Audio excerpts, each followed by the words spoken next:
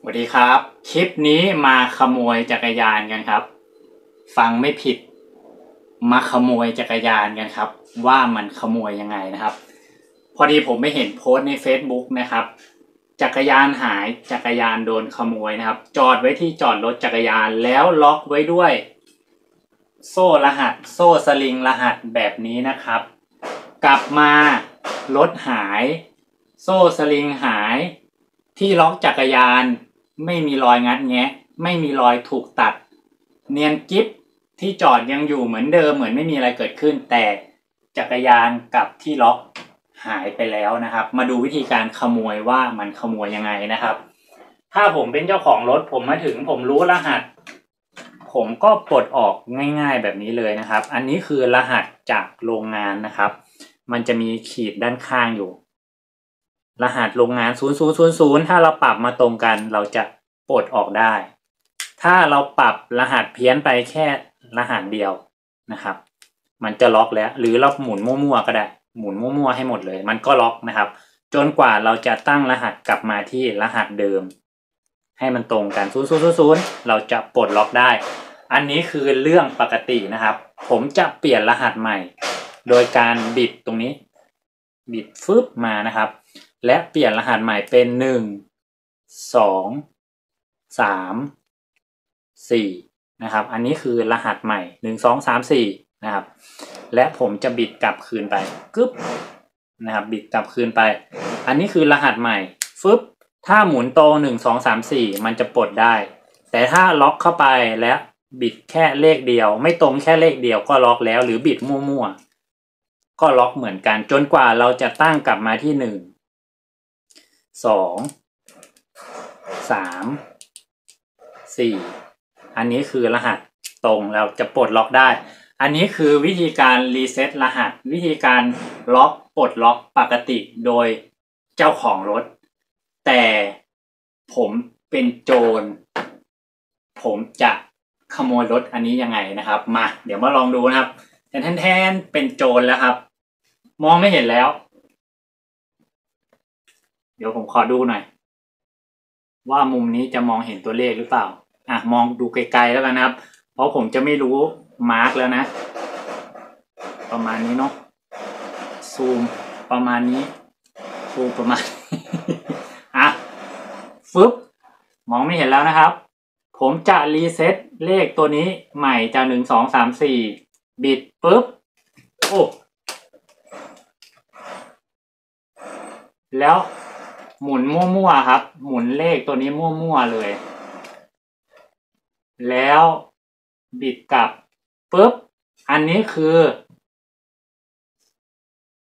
รหัสใหม่นะครับ อันนี้คือรหัสใหม่ อะทุกคนรู้แต่ผมไม่รู้นะครับ อันนี้คือรหัสใหม่ มองเห็นหรือเปล่าไม่รู้ช่วยดูหน่อยครับ จดไว้เลย เลขนี้คือ รหัสของเจ้าของรถครับ เลขนี้นะ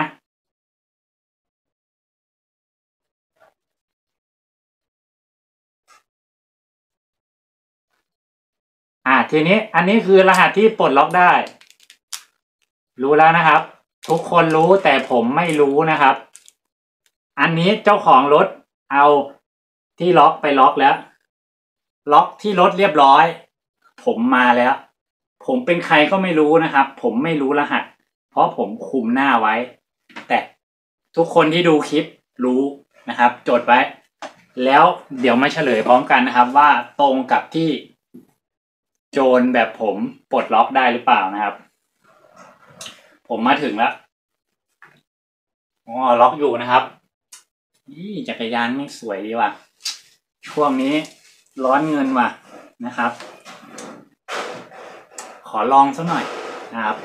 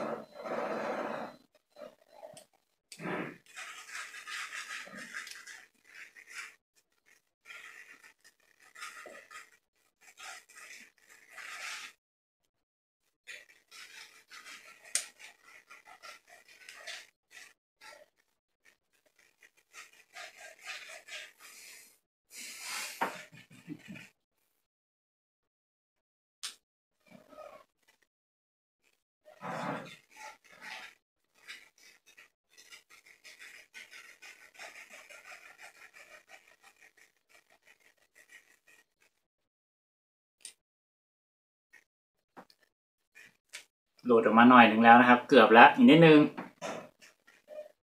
ใกล้แล้วนะครับ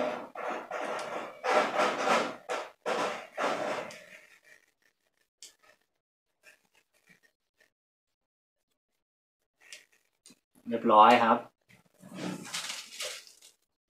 ผมเฉลยที่แปดห้าหกหกนะครับแปดห้าหกหกไม่รู้ว่าตรงหรือเปล่านะครับ แปดห้าหกหกผมปลดล็อกได้แล้วนะครับ คลิปนี้นะครับ อัดขึ้นมา เพื่อบอกทุกคนนะครับที่ใช้ไอโซ่รหัสตัวเนี้ย ไม่ว่าจะล็อกอะไรมอเตอร์ไซค์รถยนต์ ล็อกข้าวของ ล็อกบ้าน ล็อกอะไรก็ตามแต่นะครับ ว่าคนไม่รู้รหัสก็สามารถปลดได้นะครับ ช้าเร็วขึ้นอยู่กับจังหวะ ขึ้นอยู่กับประสบการณ์นะครับ ถ้าโจรจริงๆไม่ต้องบอกนะครับ เคยเห็นไหมที่บอกล็อกไว้ เดินเข้าเซเว่นแป๊บเดียวเดินออกมาหายไปไหนก็ไม่รู้นะ อันนั้นคือฝีมือนะครับ อันนี้ผมมือสมัครเล่นแล้วกันนะครับ ใช้เวลานานพอสมควรในการปลดแต่ก็ปลดได้นะครับ เพราะฉะนั้นแล้วพวกมืออาชีพอะเขามาถึงเขาแบบ เหมือนเจ้าของรถปลดเองนะครับกึบกึบกึบกึบกึบกึบกึบกึบกึบนะครับ ผมจะไม่บอกนะครับว่ามันปลดยังไง แต่ผมจะบอกว่ามันสามารถปลดได้โดยใครก็ไม่รู้นะครับ ที่ผมปลดตัวนี้เป็น เพราะว่าตอนอยู่มหาลัยนะครับ มันจะมีล็อกเกอร์เก็บของที่เป็นตู้ล็อกเกอร์เยอะๆแล้วมีรุ่นพี่เอากุญแจรหัสที่มันเป็นแม่กุญแจมาเกี่ยวล็อกไว้แล้วก็ปลดรหัสนะครับ พอจบไปไม่ยอม ไม่ยอมมาปลดก็ล็อกทิ้งไว้อย่างนั้นเพื่อนผม เพื่อนผมมันไปลองปลดดูแม่งปลดได้ ผมก็ว่าเฮ้ยกูขอลองมั่ง ผมไปปลดสักพักหนึ่งนะครับอ้าวกูก็ปลดได้ ทีนี้ ลองกันทุกตู้เลย สรุปทุกตู้ที่ใช้กุญแจแบบนี้ ปลดได้ทุกตู้นะครับ โดยโดยผมและเพื่อนที่เป็นนักศึกษา และคนอื่นที่ที่ที่ ที่ปลดเป็นก็ปลดได้นะ ใครๆก็ปลดได้เอาอย่างนั้นเถอะนะครับ โอเคคลิปนี้ไม่ได้ต้องการไม่ได้มีวัตถุประสงค์ให้ไปขโมยนะครับ แค่อยากจะบอกว่า อย่าไว้ใจไอ้กุญแจโซ่รหัสแบบนี้ ถามว่าใช้ได้ไหมใช้ได้นะครับ หลายๆ คนก็ปลดไม่เป็น แต่สำหรับคนสำหรับโจรน่ะนิ่มๆเลยนะครับ บอกแค่นี้แล้วกันนะครับ ก็ใครที่ใช้อยู่ก็ระวังไว้ด้วยนะครับ โอเค ประมาณนี้ดีกว่า พูดเยอะเดี๋ยวคลิปเป็นยาวนะครับ ก็ระวังระวังไว้แล้วกันนะครับ อ่าคลิปนี้ไปแล้วครับ